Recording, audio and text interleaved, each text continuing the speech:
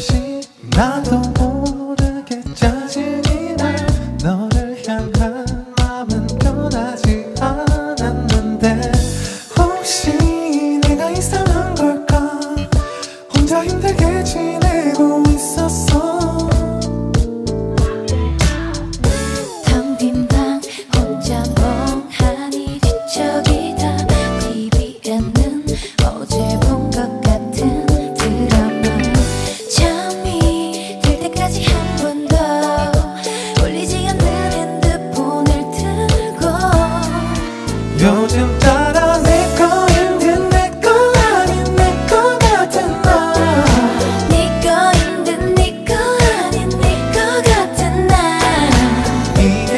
since